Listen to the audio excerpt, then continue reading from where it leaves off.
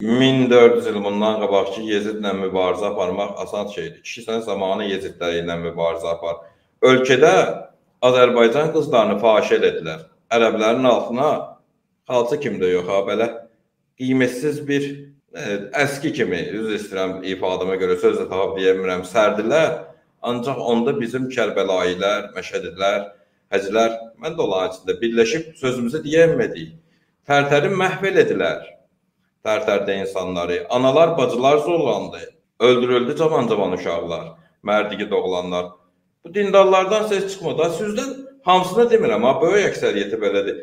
Və Qurban Məmmədin nə düşünsünüz sizin haqqınızda? İndi siz onun yerində olun. Fikirləşin. O düz deyir, yalan deyir. Bəlkə qıdıqlayır, səni bir pis soxur sənə ki, bəlkə bir kişilik damarın oyansın, bir şey ortaya gələsən. Axı bu sənin vətənindir. Bu sənin ana bacındır. Hə, bu İrəvanlı qızıdır, bu Naxçıvanlı qızıdır, bu Gəncəli qızıdır, bu Bakılı döyür, məndən döyür. Ya bu kişilik ki, bunlar hamısı bizim anamız, bacımızdır. Bunları məhv elədilər. O meymun it yeyərən ərəblərə bunları fəda elədilər bu qızları.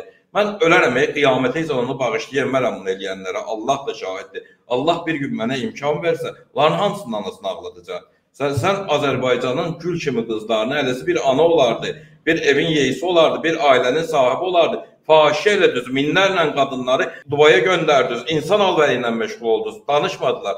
And olsun Allaha deyirəm, Allah mənə lənət eləsin. Allah mənə bir gün imkan verə, mən bu qanı bunlarda qoyaram. Bunlar Azərbaycan xanımını fahişə eləyiblər. Allahın bəlasına gələcəklər. 2021-ci ilin yanvar ayının 18-də xristian ölkəsi olan, yəni əksəriyyəti xristiandır da Rusiyada e, hicabla pasporta şəkilə icazə verildi rəsmi qaydada. Şimalda Rusiyada orada icazə verilir. Gürcüstanda orada icazə verilir. Mən qorxuram araşdırdım ki, məlum olar ki, hətta Ermənistanda belə icazə verilir.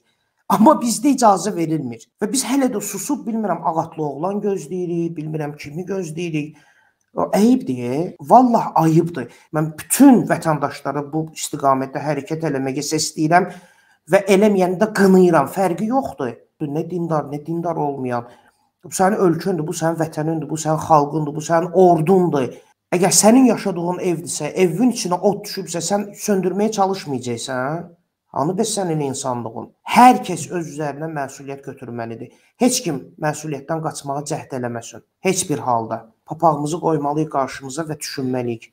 Biz bu gedişlə hara yeyirik? Dindarlara səslənirəm. Məscidlərə getmək baxımından İmam Hüseyn əleyhissalamın özünə görə Aşura məclislərinə tətbiq olunan qadağalarla biraz düşünün ki, hara gedirik. Olmur belə. Özünüzü özünüzə aldatmayın.